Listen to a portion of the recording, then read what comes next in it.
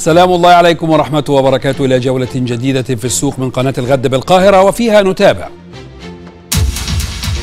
السيسي يفتتح مؤتمر ومعرض مصر الدولي للبترول. السودان يطلب دعما أمريكيا في مدفوعات الدعم وتحويلات الدولار.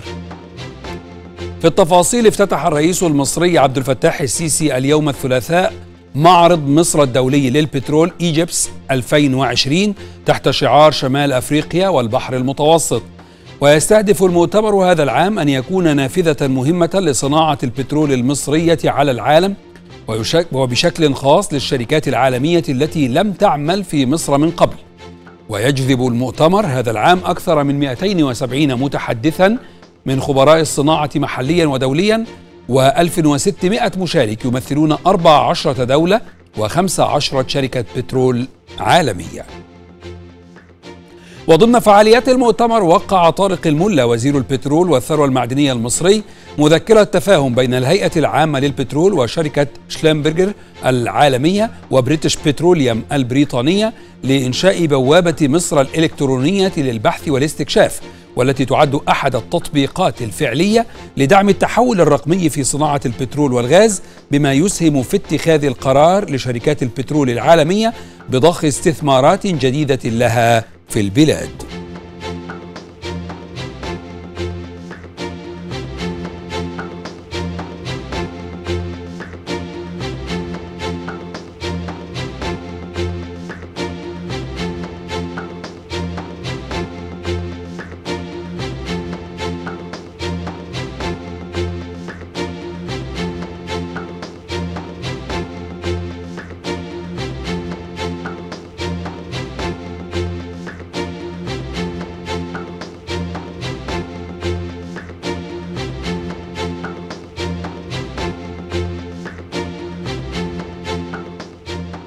وللتعليق على هذا الموضوع ينضم إلينا في الاستوديو الخبير في اقتصاديات الطاقة والبيئة السيد محمد عبد الرؤوف. سيد محمد أسباب عقد هذا المؤتمر في مصر في ذلك التوقيت وجدواه الاقتصادية ربما في وقت تعاني فيه يعني أسعار البترول عالميا من تراجع. لا هو المؤتمر ده مهم جدا وضروري طبعا صناعة البترول صراع بتتطور آه يعني يوما بعد يوم في تكنولوجيات جديدة وتحول رقمي ويعني حفر في أماكن صعبة جدا زي المياه العميقة. آه المستقبل كله في خلال ال 15 سنة الجايين بيتحول للغاز الطبيعي. زي ما إحنا شايفين في تهاتف من الشركات العالمية على المناطق اللي هي بتحتوي على الغاز الطبيعي لأنه أقل تلويثا وفوائده الاقتصادية أكبر العائد بتاعه أكبر.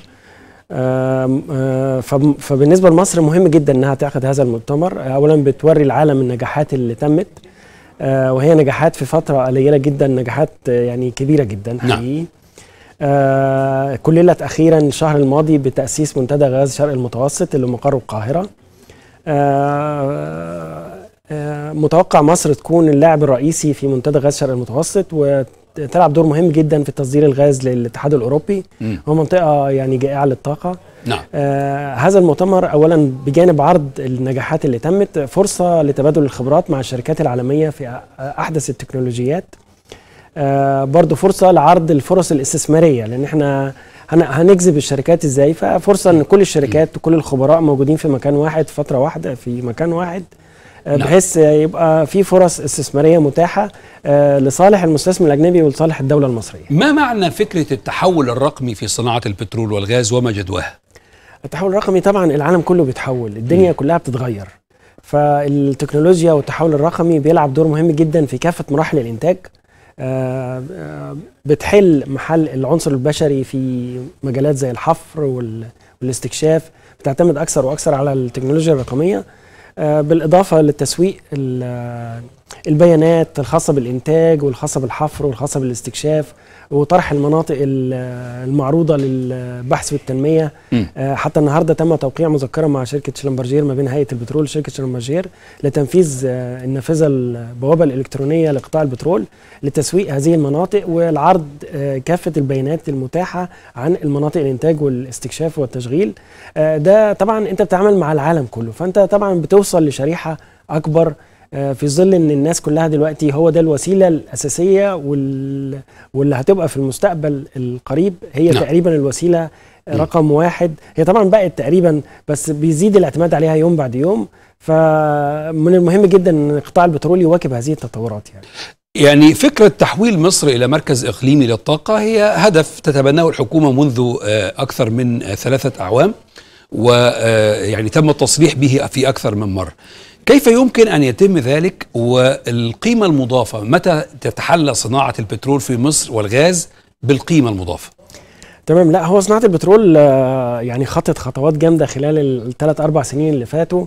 آه، زي ما أشرنا وتكللت هذه الجهود بت- بتأسيس منتدى غاز شرق المتوسط.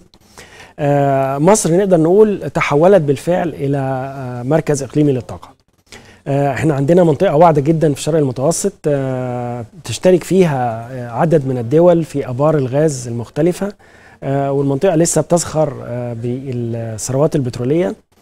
آه، مصر لديها بنية تحتية قوية جدا من مواني و وخطوط أنابيب ومصانع إسالة مش موجودة في أي دولة في الشرق المتوسط. آه، عشان كده مصر هي هتكون هي اللاعب الرئيسي في أي آه، خطة آه، لتطوير منتدى غاز الشرق المتوسط. آه، طبعا الهدف الأساسي إن إحنا هدفين. اولا نصدر الكميات الفائضة من الغاز في دول المنطقة بعد تجميعها وإسالتها في مصر وتصديرها.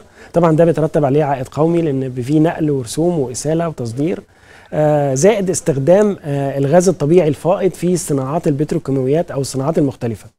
وبرضو أحد الخطط ال- آه، الأساسية لقطاع البترول خلال الثلاث أربع سنين اللي فاتوا. النهوض بصناعة التكرير والبتروكيماويات. نعم. لأن هي دي اللي بتدي القيمة المضافة حقيقي. نعم. فإحنا عندنا شقين شق لتصدير جزء من هذا الغاز شق لاستغلال هذا ال- الغاز في صناعات التكرير وال والبتروكيماويات والصناعات الأخرى المختلفة خصوصا إن ده العائد بتاعه أكبر. طبعا مصر حققت الاكتفاء الذاتي وبدات تصدر للأردن آه، بتصدر بعض الشحنات مؤخرا للاتحاد الأوروبي آه، في مفاوضات مع لبنان لتصدير للبنان.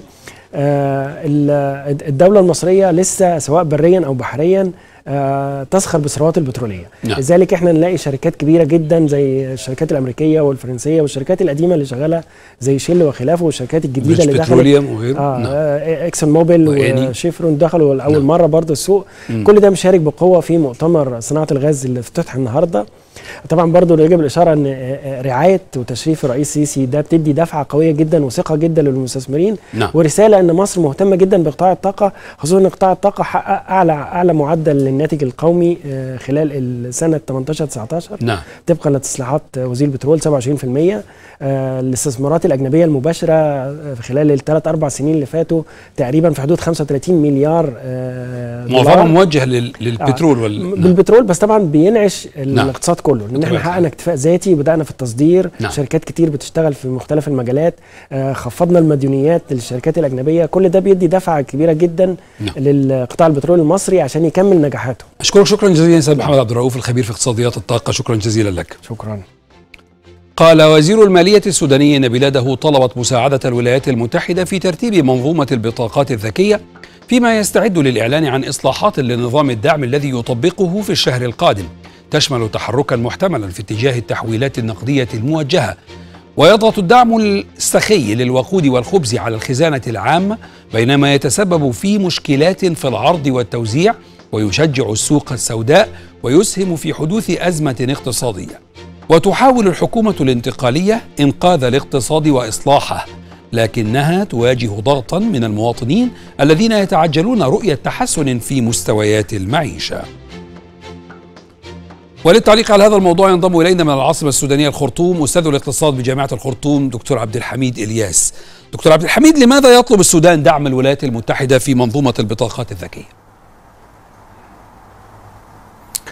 آه، الحقيقة ال- ال- منظومة البطاقات الذكية تحتاج إلى دعم فني تكنولوجي وبالتالي آه، هذه يحتاج أيضا إلى خبرات وإلى بنية تحتية آه، وبالتالي يطلب من الولايات المتحدة باعتبار أنها يعني عندها ناصية تمتلك ناصية التكنولوجيا والتقدم التكنولوجي أنها تساعد في هذا الجانب. ولكن ال- ال- الدعم الأساسي المطلوب من الولايات المتحدة في الوقت الراهن هو إزاحة اسم السودان من من لائحة الدول الراعية للإرهاب. مم. لأن هذا هذا التصنيف يضع السودان في عزلة دولية يحرمه من موارد آه، الدعم الدولي يحرمه من القروض ومن المنح والهبات. نعم. ما الذي يمنع الحكومة من تبني بدائل تحقق آه، يعني الهدفين في مشكلة الدعم ووصوله إلى مستحقيه ومنع التهريب آه، أو الاحتكار؟ آه لو سمحت أعيد السؤال. يعني أقول ما الذي يمنع الحكومة من تبني بدائل الحكومة الانتقالية الحالية ما الذي يمنعها من تبني بدائل تحقق الهدفين معا؟ وصول الدعم إلى مستحقيه ومنع الاحتكار أو التهريب أو غير ذلك من المظاهر ال- يعني التي تسيء إلى المنظومة.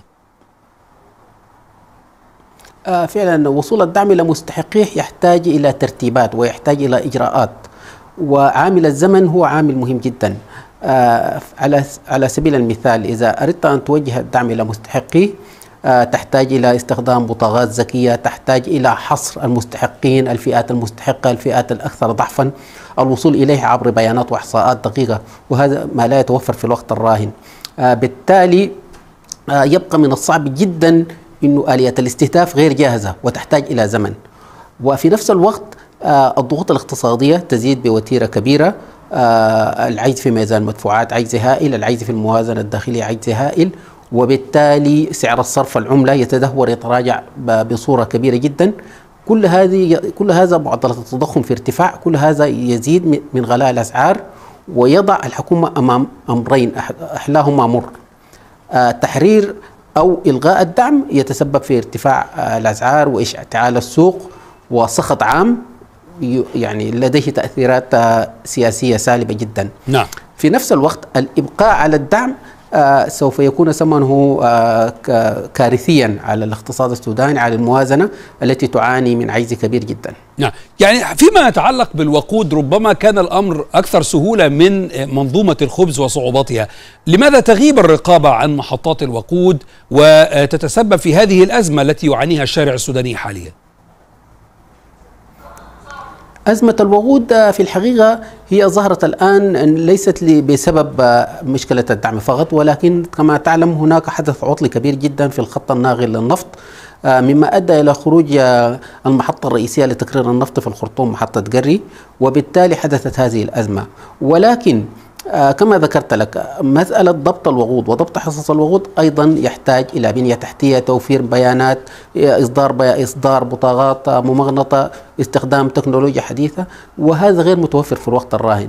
آه، غياب المعلومات غياب الأسس غي- غياب آه، ال- الآليات آه، يجعل من الصعب الآن وضع معالجات ناجعة. أشكرك. شكرا جزيلا دكتور عبد الحميد إلياس أستاذ الاقتصاد بجامعة الخرطوم.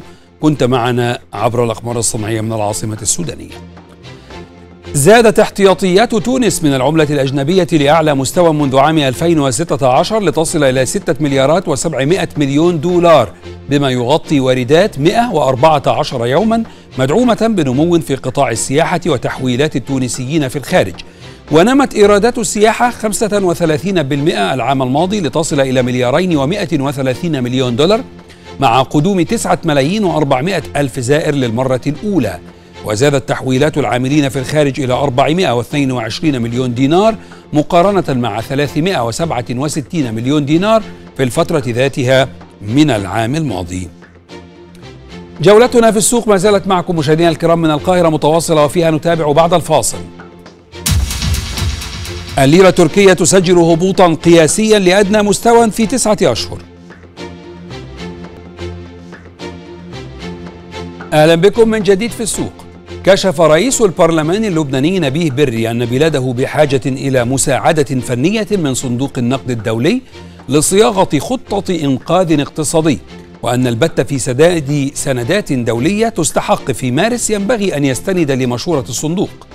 وفي وقت سابق أقرت الحكومة خطة إنقاذ مالي تتضمن خفض أسعار الفائدة وإعادة هيكلة القطاع المصرفي وأخذ خطوات مؤلمة مع الحرص على عدم المساس بذوي الدخل المنخفض. ومن العاصمة اللبنانية بيروت للتعليق على هذا الموضوع ينضم إلينا عبر الأقمار الصناعية المحلل الاقتصادي جهاد الحكيم. سيد جهاد ما نوع المساعدة الفنية المطلوبة من صندوق النقد الدولي التي أشار إليها اليوم رئيس مجلس النواب؟ تحياتي وشكرا للاستضافة. إنها مساعدة تقنية ومساعدة تقنية هي أشبه بالمشورة وأخذ النصائح من صندوق النقد الدولي لأنه بعض الأفرقاء في لبنان يتحفظ أن يكون هنالك آه، قروض من صندوق النقد الدولي وأن يكون له دور أكبر آه، في لبنان لأن البعض يتخوف في حال تم آه، طلب مساعدة صندوق النقد الدولي وقام صندوق النقد الدولي الطلب منه بإعادة هيكلة الديون وطلب منه قروض معينة أن يكون صندوق النقد الدولي أن يقوم برسم سياسات مالية معينة ويتدخل آه، في شؤون الدولة السيادية. بالطبع هذا ليس رأيي لأن بالنسبة إلي إذا عجزت الحكومة اللبنانية وعجزت الحكومات السابقة عن وضع حلول اقتصادية كانت مالية ونقدية تخرجنا من الأزمة المالية التي نحن آه، بها نعم. فلماذا لا, لا, لا يمكننا أن نطلب أكثر من المشورة لأنه آه، المشكلة ليست فقط في النصائح وفي الخطط نعم. لأنه نعم. نعرفها جيدا ولكن يبقى يعني ربما ينطوي في التنفيذ ربما ينطوي طلب القرض من نعم. صندوق النقد الدولي وربما هذا من المؤكد آه، أن يطلب الصندوق في المقابل آه، يعني شروطا اقتصادية أو إجراءات قاسية يجب على الحكومة أن تنفذها فما مدى قدرة الحكومة على الاستجابة لهذه المطالب إن حدثت؟ فلذلك فلذلك أطلب من من هم هم ضد تدخل صندوق النقد الدولي في السياسة المالية والاقتصادية في لبنان ولا يريدون الاقتراض من صندوق النقد الدولي. لماذا لم يقوموا عبر السنوات الماضية بوضع الإصلاحات اللازمة من أجل تفادي الوصول إلى ما نحن عليه اليوم؟ المشكلة في لبنان اليوم أن الدين يزداد بشكل كبير وأن الناتج القومي المحلي سيتقلص بشكل دراماتيكي. فنحن كنا عند مستوى 54 مليار دولار مستوى ناتج محلي فالبعض يتكلم أنه سينخفض عند مستوى ال 45 مليار وحتى البعض الاقتصاديين قد تخوفوا أن ينزلق عند مستوى ال 40 مما نعم. يجعل أن نسبة الدين على الناتج المحلي سيصبح الأكثر في العالم ويمكن أن يلامس ال 240% فهذا الأمر لا يحتمل فإنني أطلب من من من هم في السلطة اليوم وهم ضد تدخل صندوق النقد الدولي نعم. في آه، السياسات الاقتصادية والمالية في م. لبنان أن يقوموا من تلقاء نفسهم بوضع الإصلاحات اللازمة وتنفيذها نعم. ووضع حد للهدر والفساد الموجود في لبنان هنا هنا ربما سيد جهاد يعني آه، المنافسة ويقوموا بالخصخصة اللازمة بشكل بشكل شفاف. نعم. هنا نطرح السؤال الذي يردده البعض عن مدى إمكانية آه، آه، إشهار الإفلاس إذا جاز التعبير. إلى أي مدى يعني النظام المصرفي اللبناني مهدد بهذه أو بهذا التهديد؟ إن النظام المصرفي اللبناني في الوضع الراهن هو لا يقوم بتسديد كل المستحقات التي تتوجب عليه تجاه المودعين في لبنان.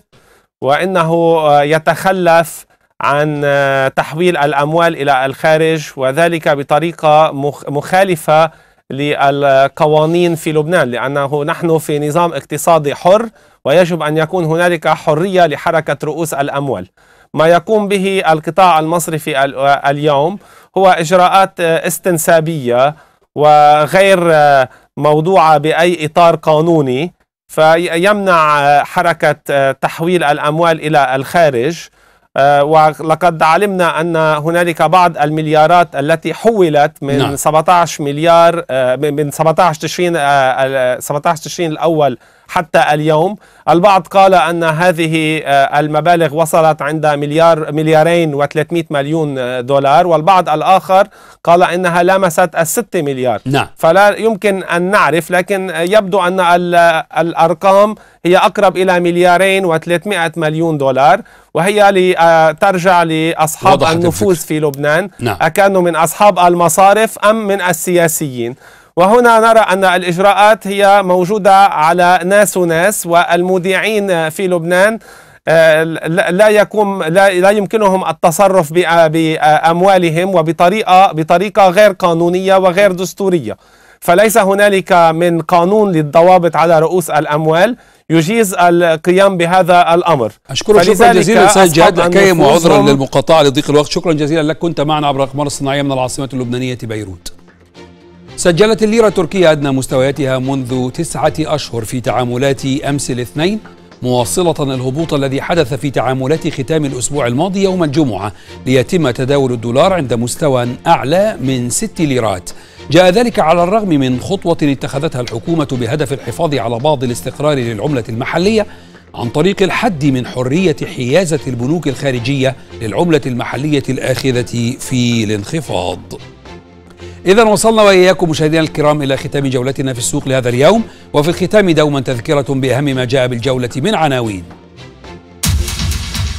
السيسي يفتتح مؤتمر ومعرض مصر الدولي للبترول. السودان يطلب دعما امريكيا في مدفوعات الدعم وتحويلات الدولار.